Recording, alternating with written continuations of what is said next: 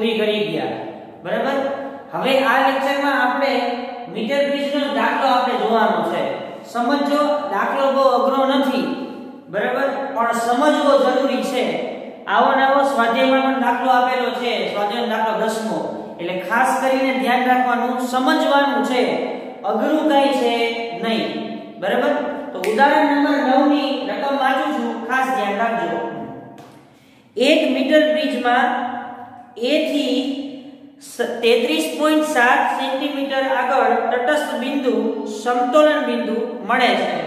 એટલે સ્વાભાવિક છે કે તમને પહેલું તટસ્થ બિંદુ L1 બરાબર આપી દીધું છે 33.7 સેન્ટીમીટર. બરાબર? તો અહીંયા ધ્યાન રાખજો. પ્રથમ પ્રથમ તટસ્થ બિંદુ બરાબર L1 બરાબર 33.7 સેન્ટીમીટર. આટલું થઈ ગયું? તો પ્રથમ સંતુલન બિંદુ માટે વિસ્તન બ્રિજની સંતુલન સ્થિતિ શું થાય? પ્રથમ તટસ્થ બિંદુ માટે વિસ્તન બ્રિજની કન્ડિશન શું થાય? તો એ યાદ રાખો. પ્રથમ તટસ્થ બિંદુ માટે અથવા તો સંતુલન માટે મિસ્ટન બ્રિજમાં સોરી મીટર બ્રિજના સંતુલન માટે નીચે મુજબ સમીકરણ મળે છે. અહીં ધ્યાન રાખજો પ્રથમ, સંતુલન બિંદુ માટે મીટર બ્રિજમાં સંતુલન નીચે મુજબ થાય. આપણે સમીકરણ શું જોઈ ગયા? આપણે આવું એક સમીકરણ જોઈ ગયા. r1 ના છેદમાં r2 બરાબર l1 છેદમાં 100 માઇનસ l1 આવું જોઈ ગયા? આના પરથી ચાલો, અહીંયા r1 ની જગ્યાએ આપણે શું લખશું? r r2 ની જગ્યાએ આપણે શું લખીએ? s બરાબર. l1 એટલે 33.37 100 માઇનસ 33.37 તો r ના છેદમાં s બરાબર 33.7 છેદમાં 100 માઇનસ 33.7 કરશો એટલે 66.3 મળશે. કેટલા મળશે? 66.3 આને કહી દઉં સમીકરણ નંબર 1 હજી આપણે પહેલું જે સેન્ટેન્સ વાંચ્યા, એની આપણે આ રીત આપણે અહીંયા શોધી કાઢી છે. r1 બરાબર r r2 બરાબર s. તમને આકૃતિમાં આપેલા છે. બરાબર? તો પ્રથમ સંતુલન બિંદુ મળે તમને 33.7 સેન્ટીમીટરે. ત્યારે તમારે મીટર બ્રિજ માટેની સંતુલન કન્ડિશન શું થાય? તો કે એના સમીકરણ પરથી r ના છેદમાં s બરાબર 33.7 mm 100 માઇનસ 33.7 તમે કરશો એટલે તમને 66.3 જવાબ મળશે. આને હું અત્યારે કહી દઉં. સમીકરણ નંબર 1 હવે રકમ શું કહે છે? જો આગળ. હવે જો S ને સમાંતર 12 ઓહમનો અવરોધ જોડવામાં આવે તો? તો વિદ્યાર્થી મિત્રો, આ S છે ને, આ શું છે? આ S તો છે જ ને ઓલરેડી એની સાથે સમાંતરમાં તમારે 12 ઓહમનો અવરોધ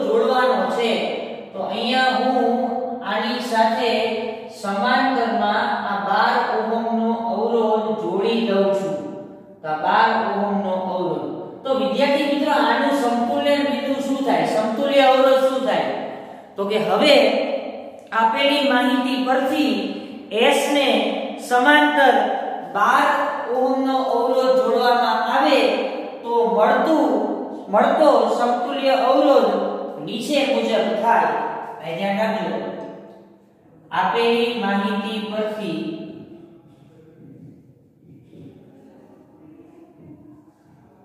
પરથી S ને સમાંતર 12 ઓહમનો અવરોધ. જોડવામાં આવે તો તેનો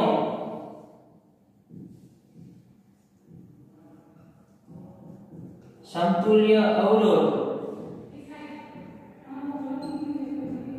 નીચે મુજબ થાય. સમાંતર જોડાણનું સૂત્ર શું છે? 1 r બરાબર 1 r1 1 r2 તો અહીંયા આપણે 1 s.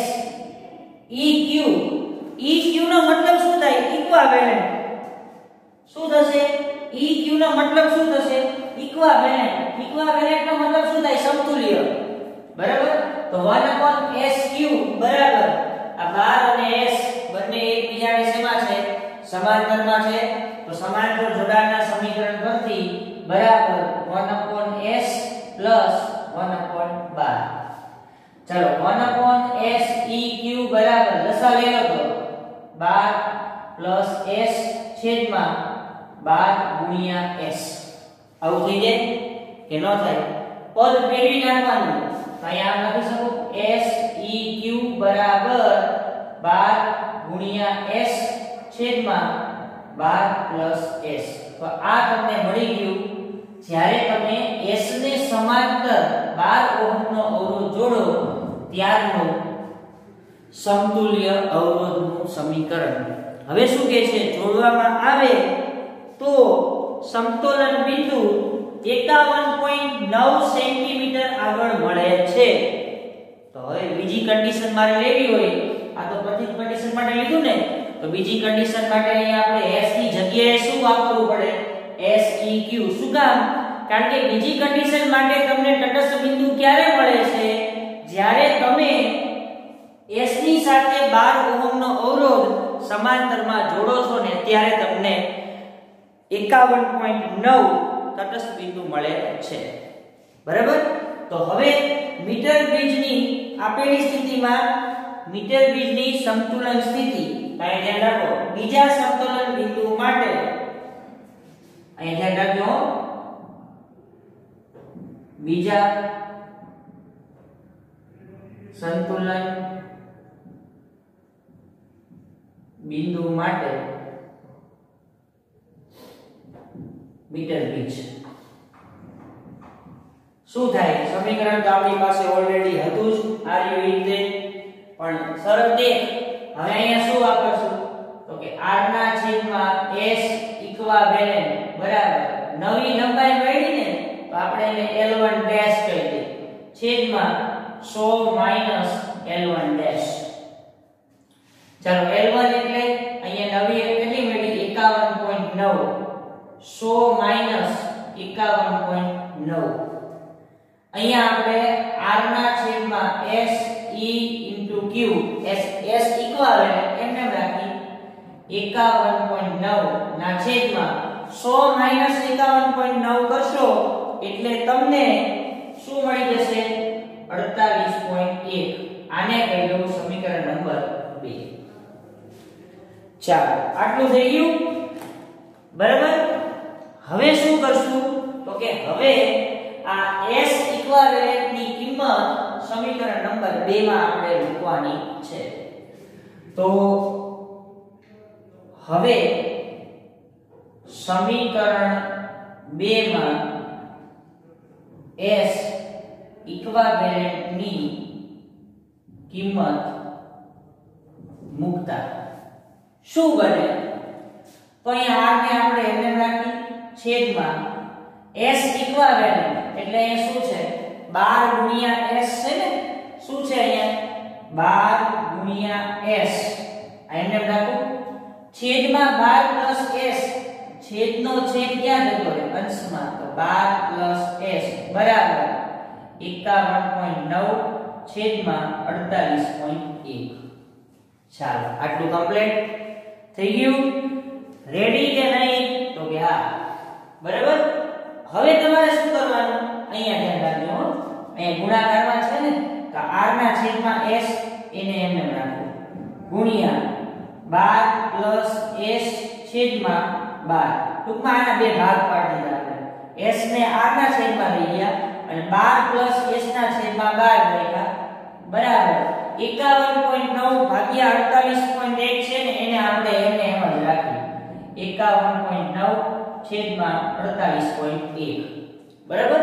હવે તમે જોઈ શકો છો r ના છેદમાં s. R s શું લખી શકી 33.7 છેદમાં 66.3 તો અહીંયા આપણે 33.7 છેદમાં 66.3 ગુણ્યા 12 s આખાના છેદમાં 12 બરાબર 51.9 છેદમાં 48.1 આટલું થઈ ગયું? હવે, આ જે પદ છે ને, એને ગુણાકારમાં લઈ જાઓ. આ પદ છે તમે ક્યાં લઈ જશો? ભાગાકાર. તો આવું બનશે. 12 s છેદમાં 12 બરાબર 51.9 ગુણ્યા 66.3 ભાગ્યા 48.1 ગુણ્યા 33.7 આટલું બને?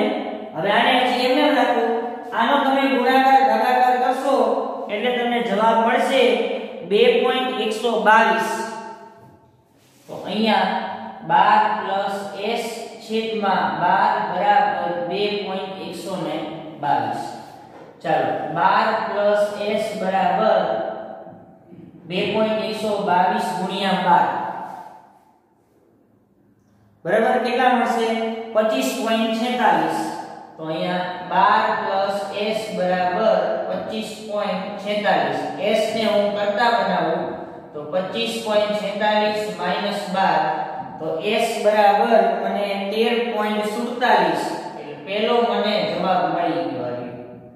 આ 13.47 s નું મૂલ્ય મને મળી ગયું. હવે સ્વાભાવિક છે કે s નું મૂલ્ય મને મળી જાય તો સમીકરણ 1 માં s નું મૂલ્ય મૂકી અને આપણે શું શોધી શકીએ? R શોધી શકીએ. તો સમીકરણ 1 સમીકરણ 1 માં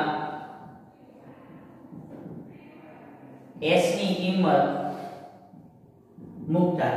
તો r ને એમને રાખું s ની જગ્યાએ શું લખું? 13.47 33.7 ના છેદમાં 66.3 ચાલો અહીંથી r ને શું કરતા. તો 33.7 ગુણ્યા 13.47 ના છેદમાં 66.3 તો r બરાબર તમને ફાઇનલ જવાબ મળશે 6.84 શું મળી જશે? 6.84 ઓહમ. ચાલો, આ તમને મળી ગયો r અને s બંનેનો જવાબ. થઈ ગયું? રેડી ફરી એક વખત જોશું. તમને રકમમાં તટસ્થ, પ્રથમ તટસ્થ બિંદુ આપેલું છે 33.7 સેન્ટીમીટર. બરાબર? શું આપેલું છે? 33.7 સેન્ટીમીટરનું પ્રથમ તટસ્થ બિંદુ તમને આપેલું છે. તો આ પ્રથમ તટસ્થ બિંદુ માટે આપણે સમતુલન સ્થાન મેળવી અથવા બીજા માટે સમતુલ્ય કન્ડિશન મેળવી, તો r1 r2 બરાબર l1 ના છેદમાં 100 l1 કિંમત મૂકો એટલે તમને આવું મળે. હવે એ લોકોએ શું કીધું છે? અહીંયા આપણે r1 બરાબર r ધાર્યા છે અને r2 બરાબર s ધાર્યા છે. તો આકૃતિમાં જે s અવરોધ છે, એની સાથે તમારે 12 ઓહ્મના અવરોધને સમાંતરમાં જોડો, તો તમને બીજું તટસ્થ બિંદુ 51.9 સેન્ટીમીટર અંતરે મળે છે. તો પહેલા તો આપણે આ બંનેને જે સમાંતરમાં જોડેલા છે, એનો મારે સમતુલ્ય અવરોધ શોધવો પડે. સમતુલ્ય અવરોધ સમાંતર જોડાણના સમીકરણ પરથી 1s 1/12 1s ક્યુબ બરાબર લસા લઈ પદ મેં ફેરવી નાખ્યું, એટલે આ મને સમતુલ્ય અવરોધ આટલો મળે છે. અને જ્યારે આ અવરોધ આટલો મળે ને, ત્યારે તમને બીજું તટસ્થ બિંદુ 51.9 સેન્ટીમીટર અંતરે મળે છે. તો હવે આ અવરોધનો ઉપયોગ આપણે બીજા સંતુલન બિંદુ માટે કરવો પડે. તો r ના છેદમાં s ઇક્વિવેલન્ટ બરાબર l1 ડેશ છેદમાં 100 l1 ડેશ બરાબર l1 ડેશ એટલે રકમમાં આપેલું છે 51.9 100 51.9 ગણતરી કરો એટલે આટલું મળશે અહીંયા આપણે s ઇક્વિવેલન્ટની કિંમત મૂકી દીધી છેદનો છેદ અંશમાં જતો રહ્યો.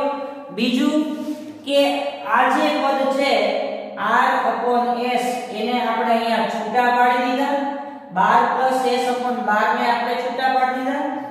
R s ની જગ્યાએ 33.7 7 છેદમાં 66.3 એટલે આ એની કિંમત મૂકી હવે અહીંથી આ પદને આપણે એમને રાખશું. અહીંયા આ ગુણાકારમાં લઈ જાઓ. 33.7 ને તમે છેદમાં લઈ જાઓ, તો 12 s 12 આ બધાનો તમે ગુણાકાર, ભાગાકાર કરશો, એટલે તમને આટલી કિંમત મળી જશે. 12 s ગુણાકારમાં લઈ જાઓ 12 ને થઈ ગયું?